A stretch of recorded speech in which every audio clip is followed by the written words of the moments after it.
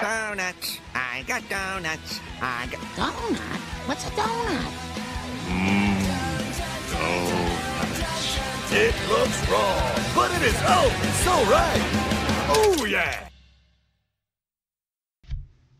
And we're live for another ASMR podcast. Just kidding. Welcome to another. Uh, that's gonna really suck for people. Welcome to another episode of Duff and Donuts, your weekly Simpsons recap podcast out of a handful, apparently. I am your host, Kia Not Keith, and I am here today with my lovely partner in crime, my PICB. So, this time we're talking about episode six, Moaning Lisa. And I'm gonna tell you what, guys, I I was very nervous to Google this episode for the notes. I, uh, you know, for reasons, obviously. We're a PG podcast. I mean, that's a, leg- a legit concern. I mean, I Mhm. totally agree with you on that. Um, so we'll just jump right in. So the uh, chalkboard gag this time is I will not instigate revolution, which in this Mhm. episode he doesn't, but in later ones he does. Um, and then the couch gag again was a little simple this time. Uh, they all squeeze on the couch. Maggie pops up, and then Marge catches her. So just a very, uh, you know- very, you know, I, these first couple of couch gags don't really wow people. You know what I mean? That's, right. That's it's just it's I not feel. super creative yet, but it's gonna get there. I feel yeah, and one hundred percent. I feel like it's gonna get creative. So let's just jump into this episode. This is a, it's a very interesting episode to start with. Like uh, it starts with just Lisa just sitting there looking at her mirror, like looking just morose, like she, you Just tell- very sad. just very sad. And so like, you know, amidst all the chaos of the family, she's just very sad. Like You know, and, and what's funny, I actually noticed on the sink, I believe it's toothpaste, Uh-huh. uh, perhaps, but it actually says the word glum. G L U M, glum. it does, yeah. And I was like, that's kind of, you know, that's kind of cool having them put that little Easter egg in there, kind of foreshadowing what's going on in the episode. Right. Um, you know, Homer knocks on the door. You know, he's like, "What's taking so long?" You know, he's a little upset that she's in there. No one really, you know, he's not concerned yet at this point. Um, they cut to the kitchen where everyone's going to have breakfast. Marge's necklace is white in this first frame. Um, I also noticed with the color scheme of the kitchen that the fridge is actually purple um, and not the usual green color. So things are still not quite. Uh, you know, set in stone yet what the backgrounds of things look like.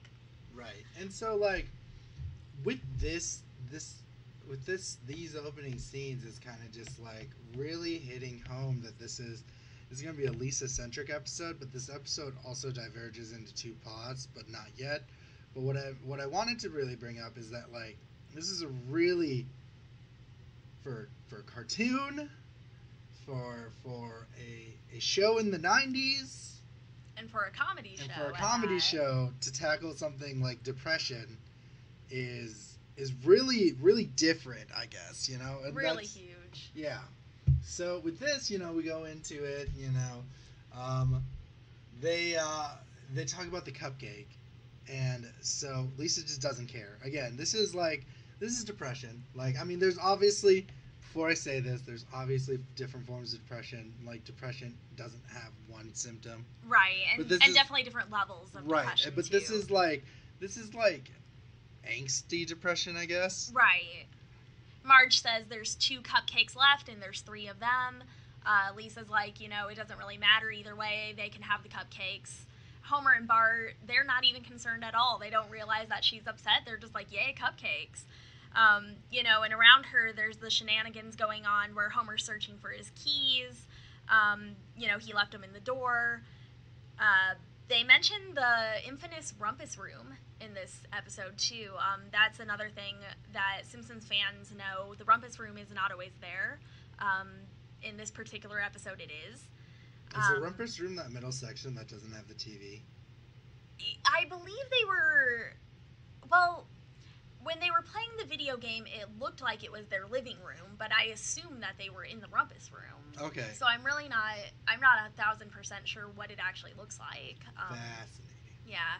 But, you know, so Lisa goes to school. She's still having a hard time. She tries to play some some, you know, upbeat music and band, and Mr. Largo yells at her about it, you know, and she's just trying to play with her soul, you know, not conforming, just kind of being herself, you know. Mhm. Um, but of course, it gets shot down, so that makes her sad.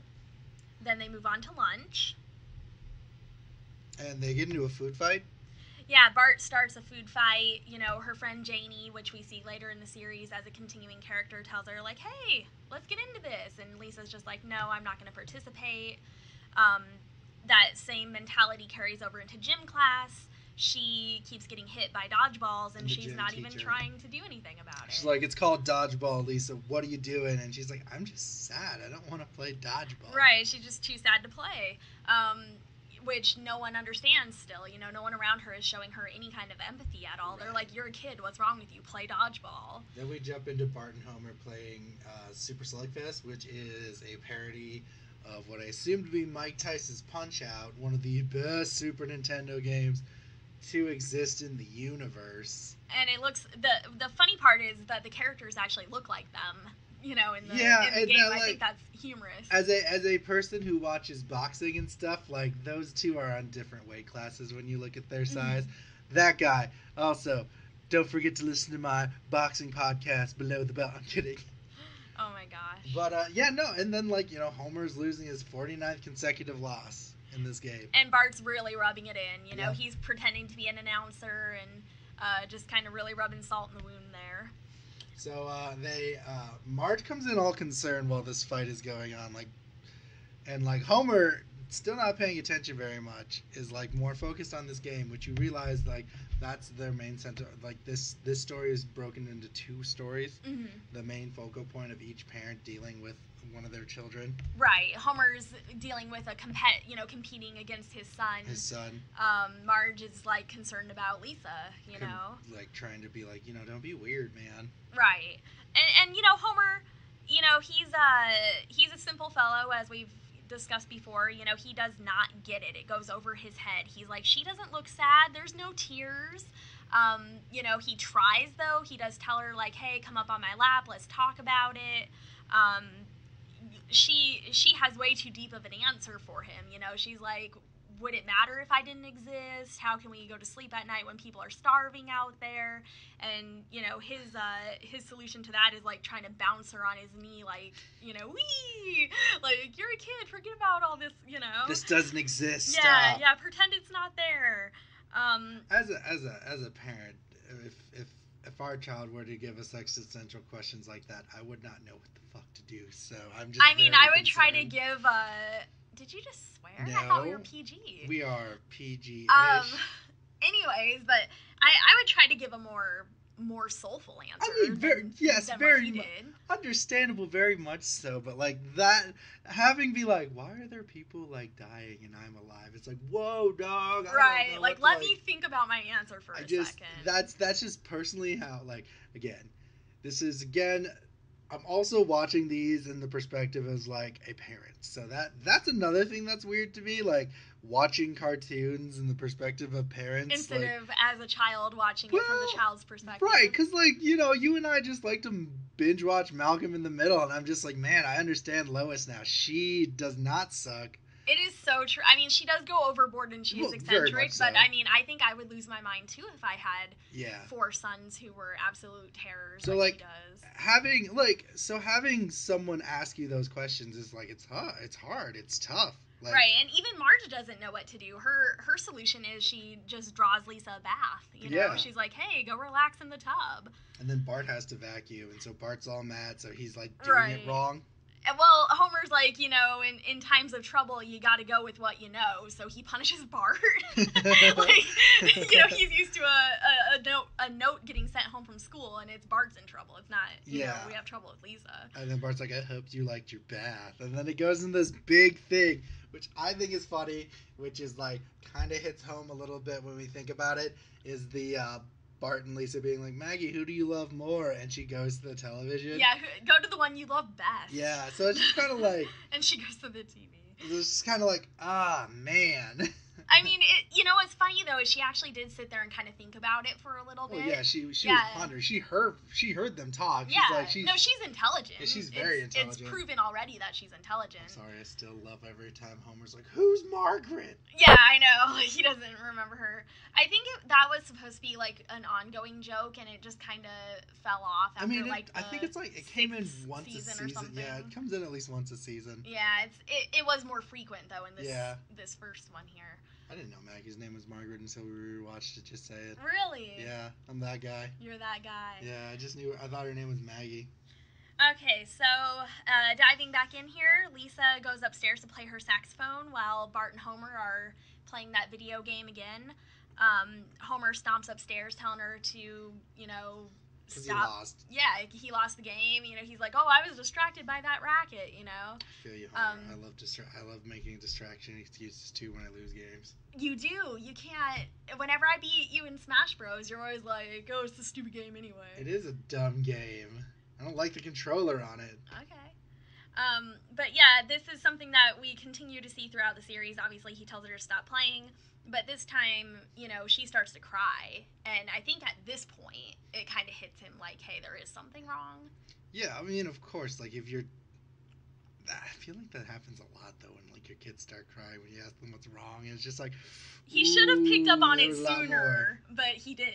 Okay, as a okay, I'm I'm not defending Homer for being dumb, but I'm also gonna be like, as dudes, and this is like breaking that line of gender. So I'm gonna tread carefully with my explanation Okay. for you and the internet.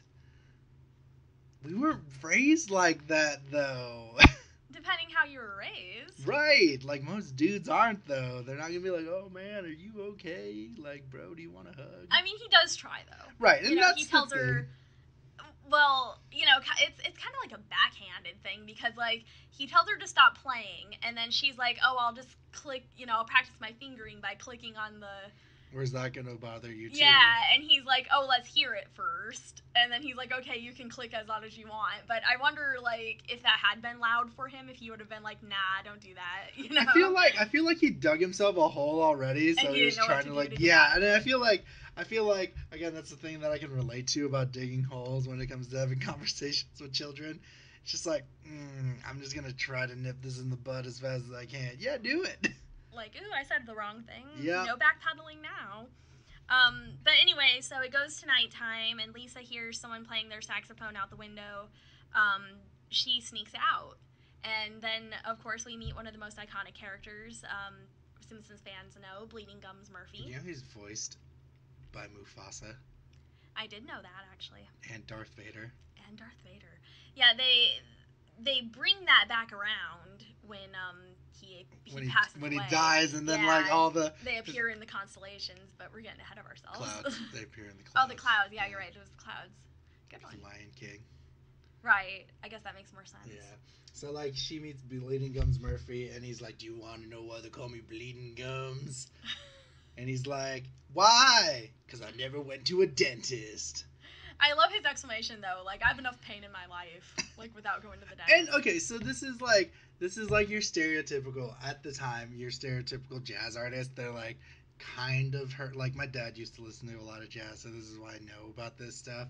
But they're kinda like, uh, the world is morose and I need this. well, they're and- playing the blues. Yeah. Yeah.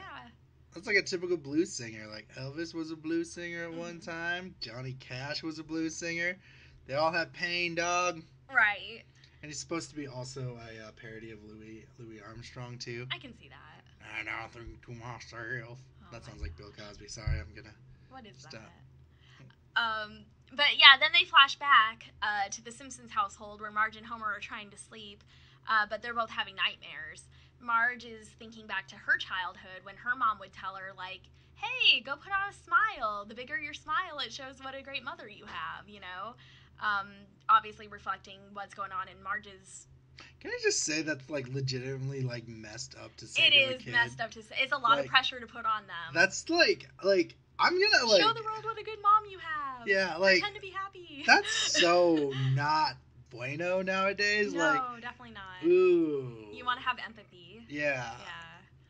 Um, and then Homer's dream, of course, is is just tucking back to that uh, subplot that they got going on. He's getting beat up actually by Bart in the the boxing. Mike Tyson punch out. Yeah, Like Slugfest, sorry.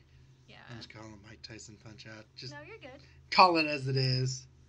Little Mac. But no, like so they both wake up. Homer's screaming and he has drool in his mouth and like I love both- like the tongue waggle Yeah. when he when he's screaming. I love that. That's so iconic though. That, It that really Simpsons is. tongue waggle. It's just like your tongue can't do that, you no, know. Like, but it, it's always been a fun thing to have in there. I think that like gives it heart, in my Yeah. opinion. Oh yeah, definitely. Um, then they flash back obviously to Lisa and Bleeding Gums, and they make that song together. Um, you know, and and he tells her that she's pretty good for a kid that doesn't have any actual problems, which, you know, that's kind of a that's kind of a shot. You know, kind of shots fired there. I mean, okay, okay, okay. I'm not saying, and I think I think we all do this, and I know I did this a lot when I was doing stand up, making Mhm. fun of first world pro- problems Right. versus third world problems. You Like, know? The comparison is apples Yeah, like I mean, like to be fair, bleeding gums is like, yo, I've never gone to the dentist. I have terrible gingivitis. I might be dying. I don't know. I don't trust doctors, and you're just complaining about a cupcake. right, right. A cupcake. I wish I could eat a cupcake, but my teeth are so bad it hurts to even look at one. but I, I also feel like his approach of, hey, I can't help you with your problems, but I can play music with you. Like, I think that's kind of what she needed. Right, and I think that like is the, I think, I think I think that's like a thing though, and I think that like to circle around, this is one of those times where we could talk about mental issues at the same time, talking about having fun, all Right. together. But like, I think that's like what a lot of people who have depression need though. Sometimes distractions help, depending on Right. the situation. But like, there's a, there's too many people though, and this is in the '90s. Mhm.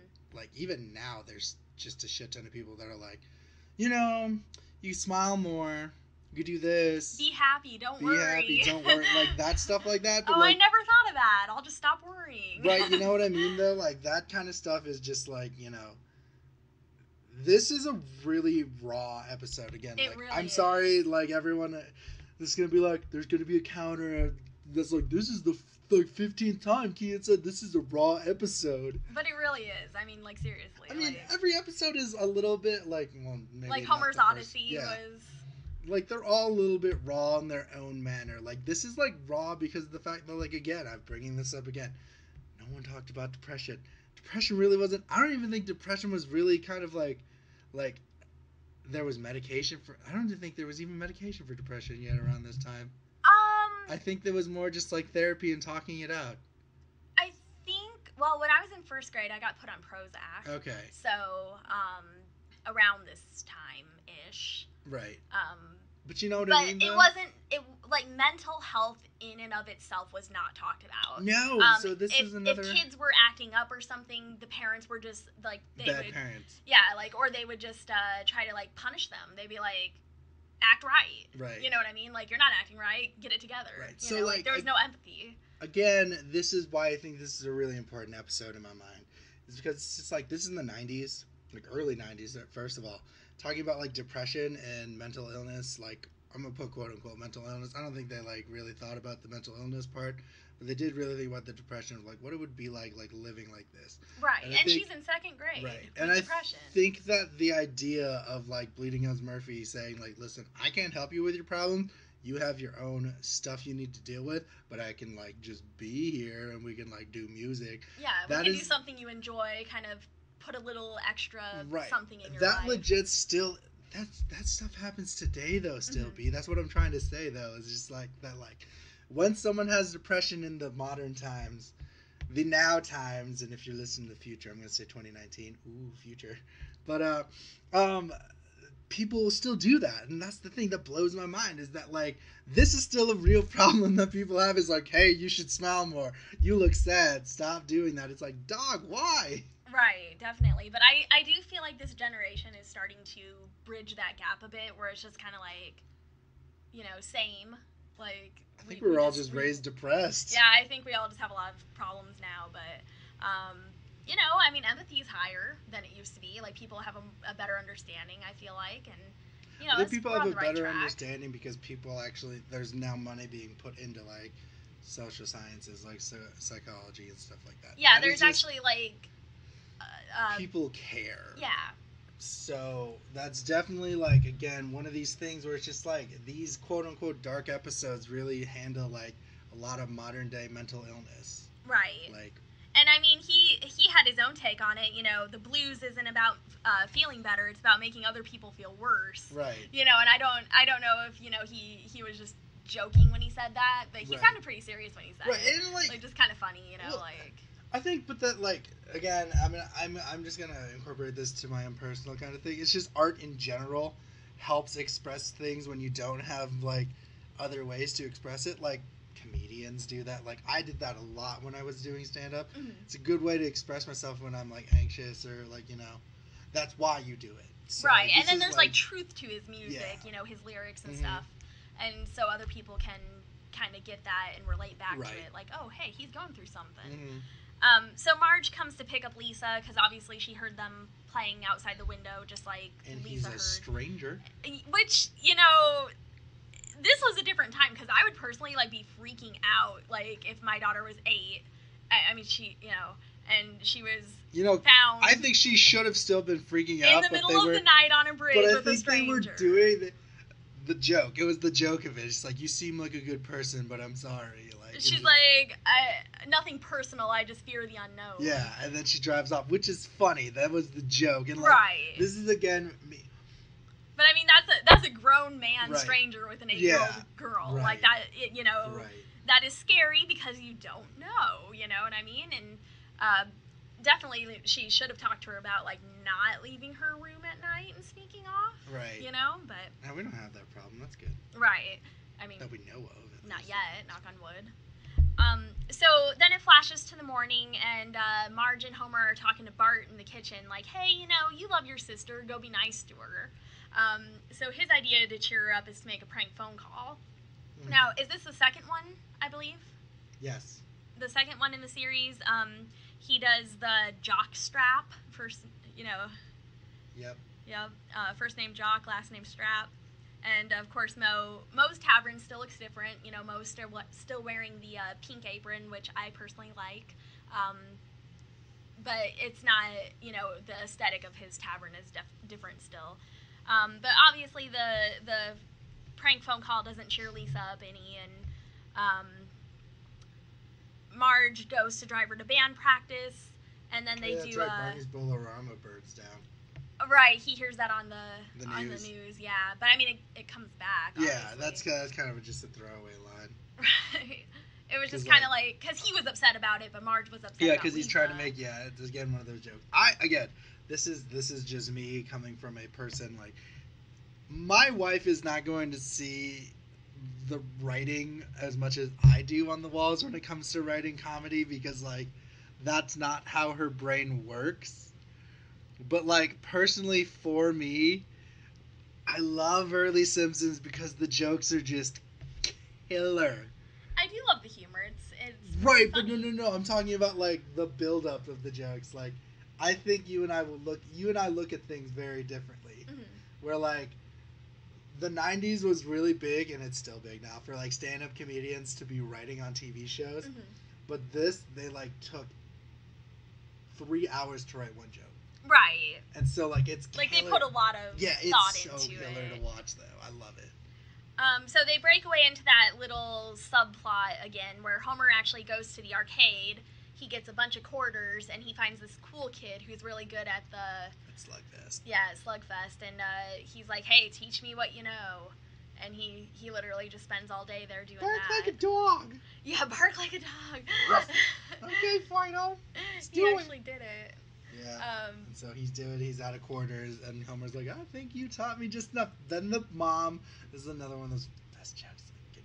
Probably my favorite joke of this of this episode is he like, you should be ashamed of yourself. Okay, lady, I think my wife's calling me. yeah, she's like, off. "You're a grown man. Why are you playing video games?" Yeah. Again, I think if it's time because I'm a gr- I don't really play video games that much. I can't make that assumption. Uh, we know a lot of people in their twenties that play. a I love playing games. my Super Nintendo that I've had since I was a child. I will shamelessly play that. I play the cool SNES Mini that I have, that has the games I like. Right. I don't know, something about like and and we actually have an arcade here that has like the old school like Pac-Man and Frogger and Q*bert and that kind of stuff. And King of Fighters. It's like I get it. I get like the. I get the arcades. appeal. Heck But, like, yeah. But Um, like um so they they uh you know Marge is taking Lisa back to the concert. Is it a Uh, concert? to band To practice, I band believe it was. okay.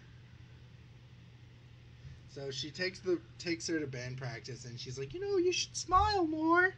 Yeah, if you smile, you'll be popular and boys will like you and you'll get invited to parties and then happiness will follow. Um, you know, so she had it backwards and I I feel like it came from an innocent place like she was trying to give the advice that her mom gave her because she thought, well, you know, I'll pass down that motherly advice. Very much 100%, but this is also another one of the things where it's just kind of like you realize that like you're not your parent. Right. You And don't so- have to pass down what your parents Right. did to You you. can be better if you Mhm. try. and this- she sees that firsthand. Mhm. Uh, Lisa goes out smiling and she starts talking to these two boys. Um, you know, and they make a couple jerk remarks about, oh, I thought you were a brainiac, but I guess you're okay. You know, that kind of thing. And then the band teacher comes and joins in, like, oh, we're not going to have any outbursts today, right? Um, and then I think that's what hit Marge. You know, she Yep. snaps and uh, gets Lisa back in the car and tells her, you know what, you just be sad if you want to. We love you. We're going to be here no matter what which I love that. And I remember actually watching this this episode when I was a little girl and just totally loving that moment. Like for me it kind of hit home cuz I also suffer from depression and anxiety and I just love that moment between Marge and Lisa where she's just like, you know, be sad if you want to and um obviously having her mom's support made her legitimately happy. You know, she started to cheer up after that. She's like, this isn't a fake smile. I'm genuinely happy. That's Yeah. super nice. I love that because it just, you know, it was a real genuine moment between the two where hey, Marge is finally starting to understand like, you know, she she might be kind of naive on the topic of depression, but she she understands like, hey, sometimes she's going to be sad and that's that's okay. You know, we still love her, we're still here for her. Um, so then it goes ahead and cuts back to home where Homer and Bart are in their final round ever. And Homer's just annihilating, annihilating uh, Bart, just like how I beat my wife during uh, video during Super Smash Bros. on the Wii U, not in real life. Mhm. Yeah, okay. Is that the story you go to sleep with at Uh, night? not Wii U, Switch. Oh, on the Switch. Yes, on the. Switch, definitely. On the Switch. Not on the Wii U, Yeah. though. So like I'm about to, he's about, he is about to win. Yeah, he's it, it was he was down for the count. Yeah. And then Marge is like trying to get their attention, and he's like, "No, I'm almost there." And then boop, She unplugs the TV. hurt and dismayed, Bart pulls the biggest baller move. Is like, "I'm retiring, 50 and oh." 0." I feel like that's not a baller move. I feel like that's such a a cop out on his part. That is like, such he, a baller. He knew he was gonna Listen, lose. Listen, good boxers know when to quit, know when to take their money. I mean, go. he could have given it to Homer. You know, he could have been like, "Hey, good job, Dad." Bart Simpson is the. Floyd Mayweather Jr. of video game boxing. I mean, I just feel bad for Homer because he was so defeated. You know, like yeah, he super was funny though. I love that. very part. sad about it. Um, but obviously, Marge, you know, she has something more important to to talk about. You know, that hey, Lisa's starting to feel better, um, and she has this activity that we can all go do together. So then it cuts away again, and they're at that jazz club um, that Bleeding Gum, Bleeding Gums Murphy told Lisa about um, the other night, and he's singing her song up on stage, and everyone's just kind of nodding their head, smiling to it, and um, the only part Homer didn't like is the whole "my dad acts like he belongs in a zoo" part. You know, he's like, "What?" But I thought that was a really cool way to end the episode. Kind Yes, of like was. incorporating that. No, 100%. I think it was super enjoyable. So, let's go into some trivia. The idea for what was suggested by James L. Brooks, who wanted to do an episode where Le- Lisa was sad, but she did not know why. The writers also felt that they had done several jokey episodes on the show and wanted to try something new that was really emotional and sweet. And I think they hit it. Personally, for me, I think they hit it. I think it's a lovely episode. I agree, definitely.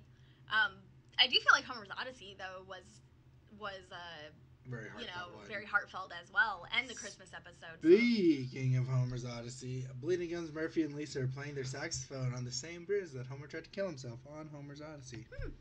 I guess I never even thought about it. Yeah.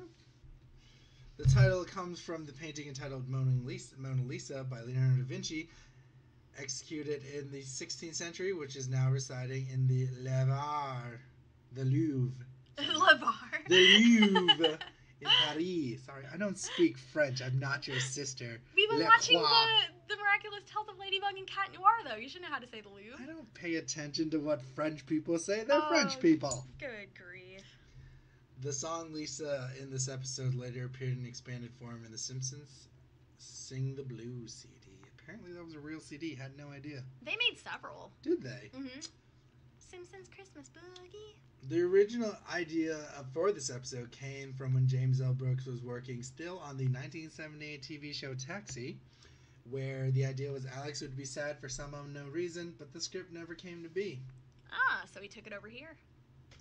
Some of the video games that can be seen at the arcade Time Waster, Freeway, Pack Rat, Eat My Shorts, Nuclear Disaster, Rob Goulet's Destroyer, Escape from Grandma's House, and Itchy vs. Scratchy. Love it. The design for the boxing boxers in the video game Bart and Homer play were loosely based on Homer and Bart, but the reference of the game was based on the character from Matt Groening's Life in Hell comic strip. You could really tell though, because like with the Life in Hell comic strip, they're much more bolder lined. Oh, than they yeah. are in like the thing. So Lisa's school band practicing My Country Tis of Thee, the patriotic American song based on the melody of the British national anthem "God Save the Queen." I didn't never knew that. Miss, Mr. Largo says to Lisa, "There's no room for crazy bebop in My Country Tis of Thee," a reference to bebop. Look at that.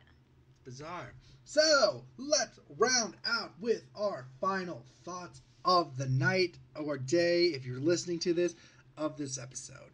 My final thoughts would be this. Personally, I think this is a very, very, and I'm going to say this, I'm going to sound like a broken record. I get it, guys. Thank you. I know. They're going to be like, Keaton's a broken record. Everything's deep and it's a deep fresh. Yes, I like this episode a lot. I find this episode to be fun and heartwarming.